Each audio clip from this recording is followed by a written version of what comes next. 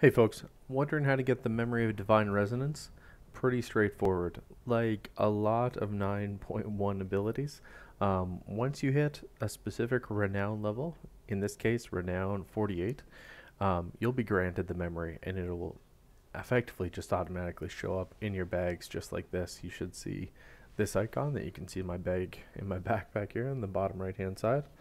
Um, dropping the Divine Resonance Legendary.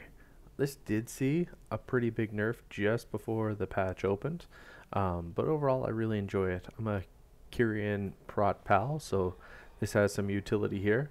It's also really transferable over to Ret, which is actually really fortunate to see because a lot of legendaries haven't been able to kind of apply or be BIS for multiple specs.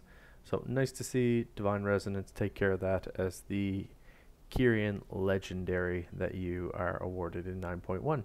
So load up on it. Let me know what you think. Is it a ton of fun? Is it a ton of regret?